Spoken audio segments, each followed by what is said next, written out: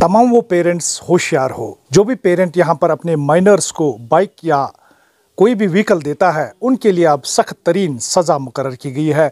उसमें अब पच्चीस हज़ार जुर्माना होगा और पेरेंट को तीन साल की सज़ा भी हो सकती है।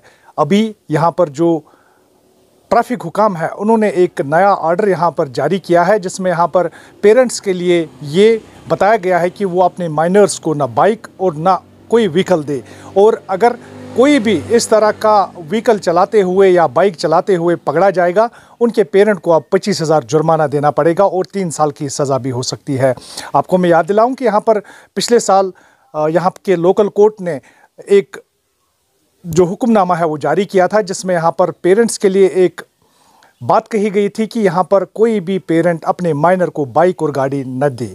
और इसके लिए अब स्पेशल टीम्स जो है सड़कों पर गश्त करते हुए नज़र आएगी और जो यहाँ पर मॉनिटर सिचुएशन को करेगी।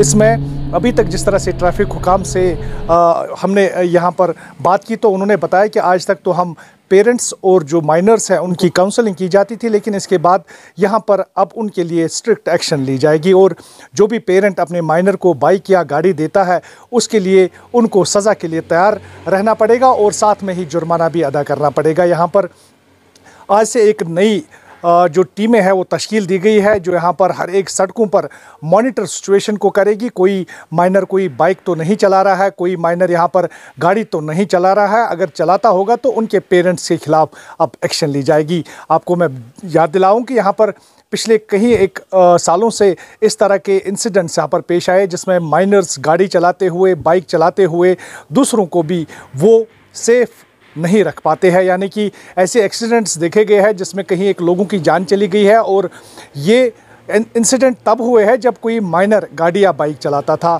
हमने हाल ही में देखा कि यहाँ पर राजबाग में भी इस तरह का इंसिडेंट हुआ था जिसमें एक घर का चिराग जो है वो गुल हो गया था और गाड़ी माइनर चला रहा था। इस तरह के कहीं एक इंसिडेंट्स है और आज यहाँ पर ट्रैफ़िक हुकाम की तरफ़ से जो इनिशिएटिव लिया गया है, इसको हर एक कॉर्नर से सराहा जा रहा है।